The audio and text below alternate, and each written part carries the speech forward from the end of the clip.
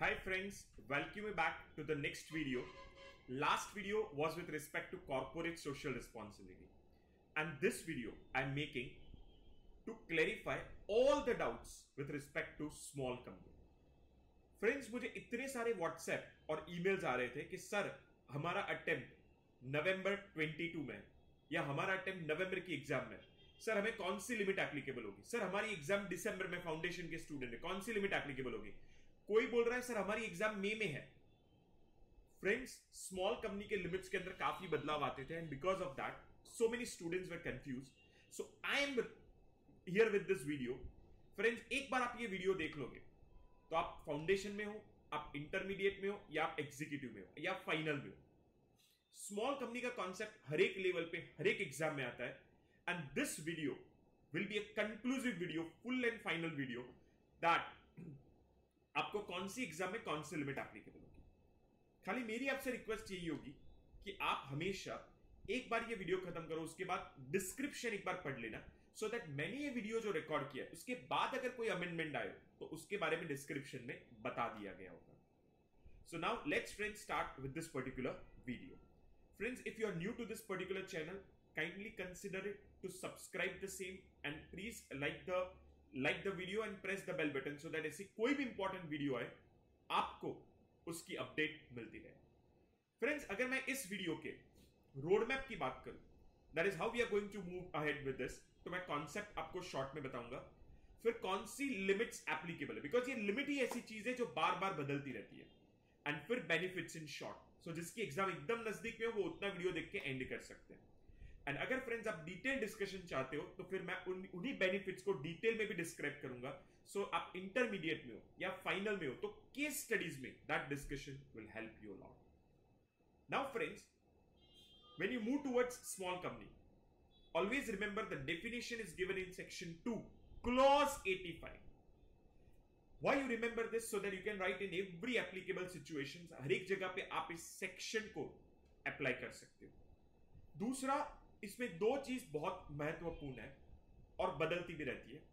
वो है कौन सी कंपनी को हम स्मॉल कंपनी का दर्जा देते स्टेटस देते, उसके लिमिट्स है।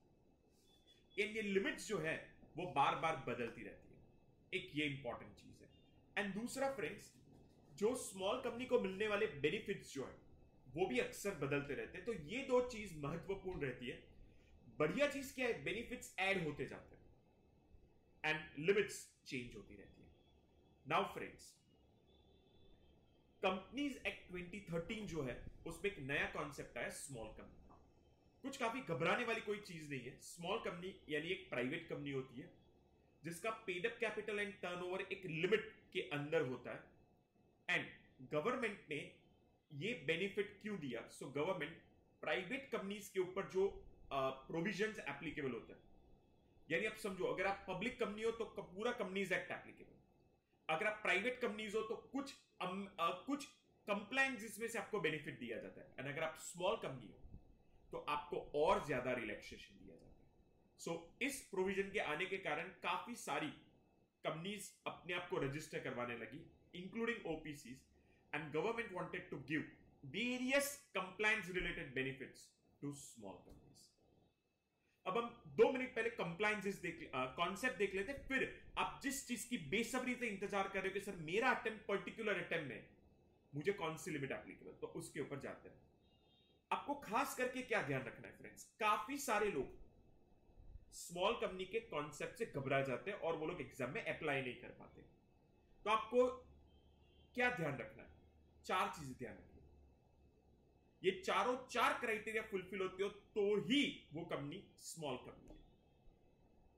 सबसे पहली चीज़, वो प्राइवेट कंपनी होनी चाहिए।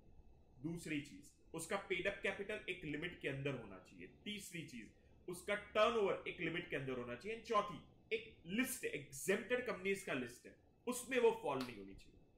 सो चार चीज़ों पे ध्यान दो private paid up capital turnover and types of सबसे पहले हम बात करते हैं लिमिट्स के ऊपर। सबके लिए एकदम इंपॉर्टेंट चीज़ है बिकॉज़ सर हम बहुत कंफ्यूज है लिमिट से। तो here is the clarification for you आपको क्या ध्यान रखना है? आपका पेडअप आपकी प्राइवेट कंपनी का पेडअप कैपिटल जो उस समय की एप्लीकेबल लिमिट है, उससे ज़्यादा नहीं होना चाहिए। एंड गवर्नमेंट चाहे तो ये एप्लीकेबल लिमिट जो है उसको इंक्रीज कर सकता है। एंड गवर्नमेंट इंक्रीज कर करके कर करके कहाँ तक इंक्रीज कर सकता है? टेन क्रोस तक। एंड सो ये दोनों कंडीशन फुलफिल होनी चाहिए। एंड आपकी प्राइवेट कंपनी का टर्नओवर उस समय की एप्लीकेबल लिमिट तक होना चाहिए, उससे कम होना चाहिए। एंड गवर्नमेंट के पास पावर है कि गवर्नमेंट ही एप्लीकेबल लिमिट की अमाउंट को बढ़ा सकता है, पर बढ़ा बढ़ा के बढ़ा बढ़ा के बढ़ा बढ़ा के सौ करोड़ से ऊपर कभी नहीं ले जा सकता। सो so ये दस करोड़ एंड सौ करोड़ अब भी स्मॉल कंपनी की लिमिट नहीं है फ्रेंड्स स्मॉल कंपनी की लिमिट नहीं है. ये तो गवर्नमेंट के पावर की मैक्सिमम लिमिट है. सो so, गवर्नमेंट अगर पेडअप कैपिटल को इंक्रीज करना चाहे कहाँ तक इंक्रीज कर सकता है फ्रेंड्स दस करोड़ तक गवर्नमेंट अगर टर्न ओवर की लिमिट को इंक्रीज करना चाहता है तो कहाँ तक इंक्रीज कर सकता है? सौ करोड़ सर अभी की एप्लीकेबल लिमिट क्या है फ्रेंड्स दो मिनट आपको बता देता हूँ. एंड ये दोनों कंडीशन फुलफिल होनी चाहिए, यानी आपका पेडअप कैपिटल भी लिमिट के अंदर होना चाहिए एंड आपका टर्नओवर भी लिमिट के अंदर होना चाहिए। एंड खास करके आपको ध्यान रखना है that section two clause 85 gives central government the power to prescribe the higher limits so ये लिमिट बार बार बढ़ती रहती है। जब गवर्नमेंट इस लिमिट को बढ़ाता है, जब गवर्नमेंट इस लिमिट को बढ़ाता है तो गवर्नमेंट ज़्यादा से ज़्यादा प्राइवेट कंपनीज़ को स्मॉल कंपनी के परव्यू में स्मॉल कंपनी के स्कोप में लेना चाहता है और उन्हें और बेनिफिट देना चाहता है। ये गवर्नमेंट का एक उद्देश्य होता है। सॉरी अब फ्रेंड्स जिस चीज़ का बेसब्री से इंतज़ार कर सर, हमारे लिए कौन से लिमिट एप्लीकेबल तो लेट्स हैव अ क्लैरिफिकेशन आप अगर फ्रेंड्स स्क्रीन के ऊपर देख सकते हो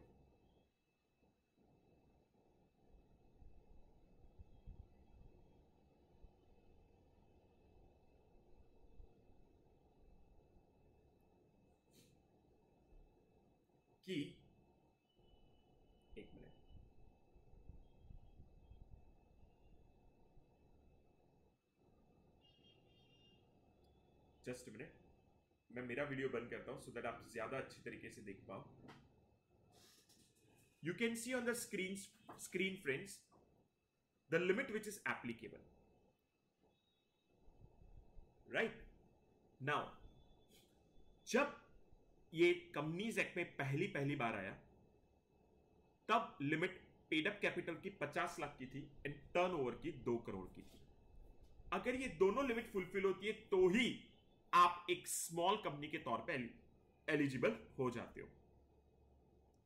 उसके बाद लिमिट में परिवर्तन आया एंड फ़र्स्ट अप्रैल से। फ़र्स्ट अप्रैल 2021 से। ये 50 लाख की लिमिट को गवर्नमेंट ने इंक्रीज कर दिया। फ्रेंड्स आपको पता है ना मैंने आगे ही बताया कि गवर्नमेंट एज अ पावर तो गवर्नमेंट ने ये लिमिट को इंक्रीज करके 50 लाख पेड अप कैपिटल से दो करोड़ किया। राइट एंड टर्नओवर को दो करोड़ से इंक्रीज करके 20 करोड़ किया। नाउ ये लिमिट आई। एंड अब भी अब भी रिसेंटली 15 सितंबर 2022 को गवर्नमेंट ने पेडअप कैपिटल की लिमिट जो पहले 50 लाख थी जिसको बढ़ा के दो करोड़ किया था उसको वापस से बढ़ा के चार करोड़ किया। एंड टर्न ओवर की लिमिट जो पहले दो करोड़ थी उसको अमेंड करके 20 करोड़ किया था उसको अमेंड करके 40 करोड़ किया। सो so, अब कुछ स्टूडेंट्स जो ये वीडियो देख रहे हैं उनको दो करोड़ बीस दो और बीस करोड़ की लिमिट एप्लीकेबल है और कुछ स्टूडेंट्स को चार करोड़ और चालीस की। बट फ्रेंड्स एक आधी मिनट में मैं आपको क्लेरिफाई करता हूँ, कौन से अटेम्प्ट के लिए कौन सी एप्लीकेबल लिमिट है। अब खाली एक second the idea of the government seems to increase the pool of small companies by 10 to 20 percent and higher threshold higher limits higher ceiling limits will allow several startups to get the lenient benefit of the companies act. उस उद्देश्य से government इस limit को बढ़ाता रहता है। अब इसके ऊपर आते हैं फ्रेंड्स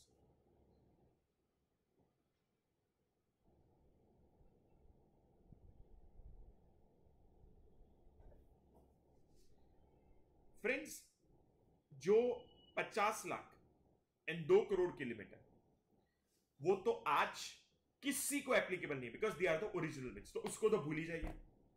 अब अब अब ध्यान से जिनका भी अटेम्प्ट दिसंबर 2022 या उसके पहले है उनको आज भी दो करोड़, बीस करोड़ वाली लिमिट एप्लीकेबल होती है। बिकॉज़ फ्रेंड्स अगर आपने मेरा लेक्चर बनाया तो मैंने आपको बताया था कि आपका अटेम्प्ट जब कभी भी हो, उसके पिछले छह महीने में, अगर कोई भी अमेंडमेंट आता है तो वो आपको एप्लीकेबल नहीं होता। तो मान लीजिए कि आप एक स्टूडेंट हो इंटरमीडिएट किया सीए फाइनल के, और आपका अटेम्प्ट नवंबर 22 में राइट तो आप समझ लीजिए, आपका अटेम्प्ट नवंबर 22 में।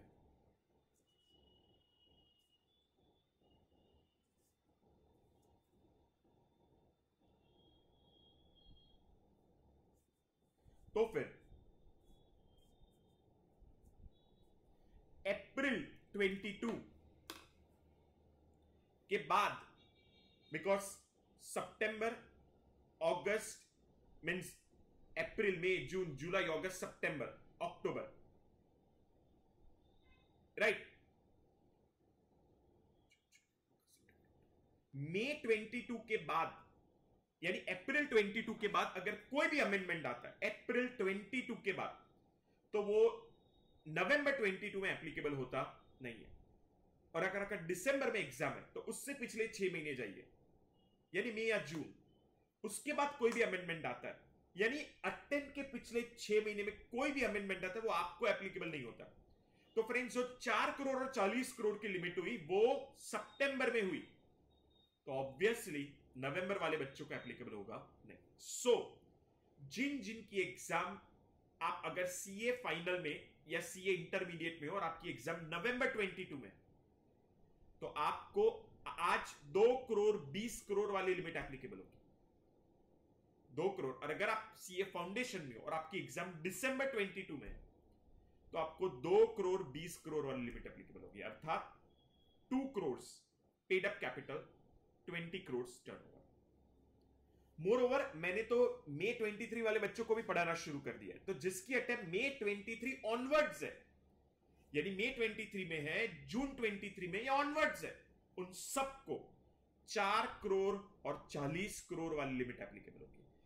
For them four crore is paid up capital limit and forty crore is the turnover limit इसका खास करके ध्यान रखना। सो so फ्रेंड्स अगर आप दिसंबर 22 के पहले अपियर होने वाले हो तो प्लीज़ एक मिनट वीडियो को पॉज करके ये स्क्रीनशॉट ले लेना। एंड अगर आप मे 23 या उसके बाद अपियर होने वाले हो तो प्लीज़ एक मिनट वीडियो को स्टॉप करके ये स्क्रीनशॉट ले लेना। ये आपके लिए काम का रहेगा।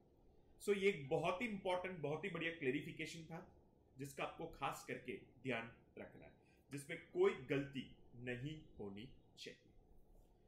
अब थोड़ा आगे बढ़ते कॉन्सेप्चुअली uh, मैं थोड़ा शायद से फास्ट जा सकता हूँ because this is a kind of a recap video अगर एक प्राइवेट कंपनी है पर वो किसी की होल्डिंग है या वो किसी की सब्सिडरी है या वो सेक्शन एट कंपनी है वो गवर्नमेंट की कोई स्पेशल बॉडी है तो वो स्मॉल कंपनी में फॉल होगी नहीं. So further a company is not a small company if it's a public company because मैंने बोल दिया था प्राइवेट कंपनी होनी चाहिए. If it's a holding company subsidiary company section eight company और a special company moreover government ने काफ़ी सारे प्रिविलेजेस दिए स्मॉल कंपनी को कंप्लाइंस साइड से. एक तो उनको कम नंबर ऑफ़ बोर्ड मीटिंग करनी पड़ती है. ज़्यादा डिटेल में बाद में देखते हैं. नॉर्मल कंपनी को चार बोर्ड मीटिंग करनी होती है. एक कैलेंडर ईयर में स्मॉल कंपनी को दो बोर्ड मीटिंग डिटेल में बाद में डिस्कस करते हैं. इसी वीडियो में. Not required to maintain cash flow statement जो ऑडिटर्स का रिटायर बाय रोटेशन होता है, कि इंडिविजुअल हो तो हर पाँच साल में चेंज होना चाहिए फर्म हो तो हर दस साल में, वो नहीं आता। इनको डायरेक्टर्स रिपोर्ट जो है, वो भी एवरेज संक्षिप्त समराइज बनाना होता है। दूसरे बेनिफिट इनको इंटरनल फाइनेंशियल कंट्रोल का रिपोर्टिंग एप्लीकेबल नहीं होता। अगर आप नॉर्मल कंपनी हो तो आपको आपका एनुअल रिटर्न जो साल में एक बार भरते आप, वो एमजीटी सेवन में भरना होगा, जबकि स्मॉल कंपनी को फॉर्म एमजीटी सेवन ए में भरना होगा। प्लस अगर आपका एनुअल रिटर्न खाली सीएस साइन कर देता है। अगर आपकी कंपनी में सीएस नहीं तो कोई भी एक डायरेक्टर साइन कर देगा तो भी चलेगा। और नॉर्मल कंपनीज़ को जो पेनल्टी लगती है कंट्राविंशन से उसकी कंपैरिजन में स्मॉल कंपनीज़ को कम पेनल्टी लगती है। सो so, यहाँ तक मेन वीडियो समाप्त होता है। अब फ्रेंड्स जो लोग थोड़ा ज़्यादा डिटेल में नॉलेज लेना चाहते हैं जो रैंक को टारगेट करना चाहते हैं अच्छे मार्क्स लाना चाहते हैं तो केस स्टडी में आपको बेनिफिट्स थोड़े डिटेल में पता होने चाहिए। उसके ऊपर जाए उसके पहले खाली एक मिनट अगर आप MSME micro small medium enterprises act में अगर आपकी स्मॉल कंपनी को रजिस्टर करवा देते हो तो आप फर्दर वहाँ से भी आप काफ़ी अच्छे बेनिफिट्स प्राप्त कर सकते हो। अब एक एक बेनिफिट जो मैंने आगे आपको शॉर्ट में बताया था, वो अब मैं आपको यहाँ डिटेल में बताने जा रहा हूँ। ये केस स्टडीज़ के लिए बहुत इंपॉर्टेंट रहेगा अब फ्रेंड सबसे पहला बेनिफिट नॉर्मल कंपनीज़ को अपने फाइनेंशियल स्टेटमेंट में क्या क्या लाना होता है? Balance sheet PNL cash flow statement notes to accounts and statement of changes in equity ये पाँचों पाँच चीज़ें एक नॉर्मल कंपनी के फाइनेंशियल स्टेटमेंट में होती है। मैं जब कहता हूँ नॉर्मल कंपनी तो normal company means the company other than a small company but section two clause forty में प्रोवाइजो के तौर पे बताया गया है the financial statement with respect to one person company small company and dormant company and inactive company may not include cash flow statement यानी ये लोग अगर कैश फ्लो स्टेटमेंट नहीं बनाएँगे तो चलेगा।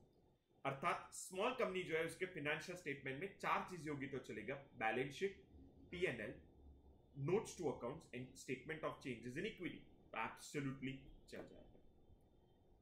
दूसरा कारों में एग्जेम्पशन दिया गया कि फ़र्स्ट अप्रैल के बाद कारो एप्लीकेबल होगा 2020 वाला। उसमें CARO will not apply to banking company to insurance company section eight company OPC and small company, and certain types of private company. So OPC and small company को भी कारो एप्लीकेबल कारो 2020 का रिपोर्टिंग एप्लीकेबल नहीं होगा। तीसरा, जो retirement bye rotation आता है ऑडिटर्स का कि इंडिविजुअल ऑडिटर हो तो हर पाँच साल में उनके ऊपर और पाँच साल का कूलिंग पीरियड लग जाता है। अगर फर्म हो तो हर दस साल में कूलिंग पीरियड लग जाता है। वो small company and one percent company को एप्लीकेबल नहीं होता है। अर्थात वो स्मॉल कंपनी को एप्लीकेबल नहीं होगा। ये खास करके ध्यान रखना है। प्लस इंटरनल फाइनेंशियल कंट्रोल का रिपोर्टिंग किसका reporting friends internal financial control का रिपोर्टिंग तो नॉर्मल क्या प्रोविज़न है? An auditor of a small company is not required to report on the adequacy of internal financial controls and it's operational effectiveness in auditors report अब normal company के लिए क्या होता है फ्रेंड्स सेक्शन 143 सबसेक्शन 3 क्लॉज 1 के मुताबिक auditor shall report whether the company has adequate internal financial control system in place यानी जो पर्याप्त इंटरनल फाइनेंशियल कंट्रोल चाहिए, वो क्या कंपनी में है? एंड दूसरा है, पर क्या वो इफ़ेक्टिव ऑपरेटिव है? उसके बारे में बताना होगा। पर उसके बाद एमसीए ने 13 जून 2017 में एक एग्जामेशन दिया कि internal financial control to prescribe class of private companies which includes OPC small company and they are not required to give this reporting provided they file their financial statements in form AOC 4 under section 137 in time to ROC and annual return in form MGT 7 in time to ROC. So, आप कह सकते हो कि जो small companies है, उसके auditor को internal financial controls के एडिक्वेसी एंड ऑपरेटिवनेस कि इफेक्टिवनेस के ऊपर अपने रिपोर्ट में कुछ भी बताने की आवश्यकता more over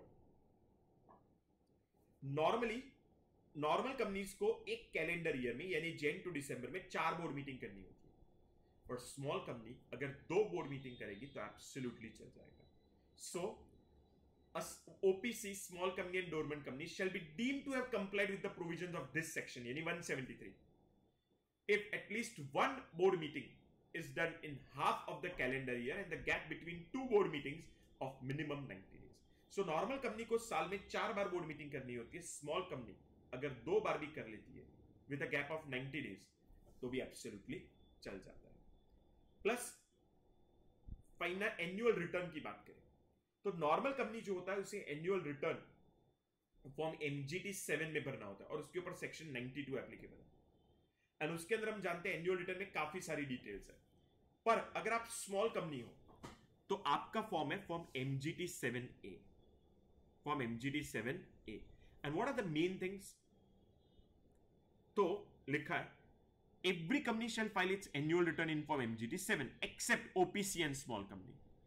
OPC and small company shall file annual return from financial year 2020-21 यानी यहाँ से उनके लिए अलग फॉर्म आया इन एमजीटी सेवन ए आप बोलते हैं, सर, क्या फ़र्क है MGT seven and seven A में? तो one of the key highlights of MGT seven A is that the details of directors and key managerial personnel key managerial personnel यानी CEO CFO MD CS WTD whole time director वो the composition of board of directors उनकी details वो उनको देने की ज़रूरत नहीं है। एक ये है। Also where other companies require providing details of remuneration of directors and के स्मॉल कंपनीज़ को टोटल अमाउंट दे देनी है। एग्रीगेट कितना दिया उन्होंने। बाकी अलग अलग बाइफर्केशन की ज़रूरत नहीं। तो मेन एक चीज़ है कि स्मॉल कंपनीज़ जो है, उन्हें डायरेक्टर्स एंड केएमपी की डिटेल्स एंड उनकी अलग अलग रेम्यूनरेशन की डिटेल्स प्रोवाइड करने की कोई आवश्यकता नहीं है और एन और एक बेनिफिट है कि annual return must be sign by CS and जब उस कंपनी में स्मॉल कंपनी में सीएस ना हो तो कोई भी एक डायरेक्टर साइन कर देगा तो भी चलेगा What this essentially means is that from MGT7A, there is no mandatory requirement of pre-certification of CS. Instead, एक डायरेक्टर जो है या डायरेक्टर्स जो है, वो सेल्फ सर्टिफिकेशन कर देंगे तो भी एब्सोल्युटली चल जाएगा। यहाँ प्रैक्टिसिंग सीएस के पास जाके प्री सर्टिफिकेशन करवाने की आवश्यकता स्मॉल कंपनीज़ को नहीं है। एंड लास्ट नॉर्मल कंपनीज़ अगर कोई उल्लंघन करती है तो उनके ऊपर काफ़ी डिटेल ज़्यादा पेनल्टीज आती है, पर स्मॉल कंपनी अगर कोई उल्लंघन करे तो उनके ऊपर थोड़ी कम पेनल्टी आती है। कहा दिया ये? As per section 446 B if penalty is payable for non-compliance of any provisions of this companies act by opc small company startup company or producer company or by any of its officers then the penalty should not be more than यानी maximum कितनी होगी normally अगर 10 लाख की penalty हो तो उसकी half subject to यानी जितनी पेनल्टी लगती है उससे आधी पेनल्टी लगेगी उसमें भी सब्जेक्ट टू मैक्सिमम अगर कंपनी को पेनल्टी भरनी है तो दो लाख रुपए एंड उसके किसी ऑफिसर को पेनल्टी भरनी है इज़ इन डिफ़ॉल्ट तो उसको मैक्सिमम पेनल्टी कितनी भरनी होगी? एक लाख रुपए। सो पहले तो नॉर्मल जो लिमिट है उससे आधी कर दी और उसमें भी सीलिंग लिमिट लगा दी इससे ज़्यादा पेनल्टी स्मॉल कंपनीज़ को भरने की नहीं आ सकती। सो so, फ्रेंड्स और मैंने आपको जैसे बताया कि एमएसएमई एक्ट में अगर आप आपकी स्मॉल कंपनी को रजिस्टर करवा देते हो तो, तो फिर कोई दिक्कत नहीं। सो फ्रेंड्स एक सेकेंड अभी भी अगर आपने इस चैनल को सब्सक्राइब नहीं किया है तो प्लीज़ कंसिडर सब्सक्राइबिंग बिकॉज़ मुझे जब कोई इंपॉर्टेंट वीडियो लगे तो मैं लाके यहाँ रखता रहता हूँ। एंड आप मुझे फेनल स्पार्क के नाम से कोई भी सोशल मीडिया प्लेटफॉर्म हो YouTube LinkedIn Twitter Instagram Facebook या कोई भी नए प्लेटफॉर्म आए, वहाँ पे आप मुझे उस नाम से सर्च करोगे तो मैं हमेशा आपको मिल जाऊँगा। और इस चैनल में काफ़ी अच्छी अच्छी और वीडियोस भी है जिसका बेनिफिट आप लेना मत भूलना। So now to end up with let me clarify a small company is not specifically registered as a small company in companies है। जैसे आपको सेक्शन एट कंपनी के लिए अलग से रजिस्ट्रेशन करवाना पड़ता है। वैसे स्मॉल कंपनी के लिए कोई अलग रजिस्ट्रेशन नहीं है।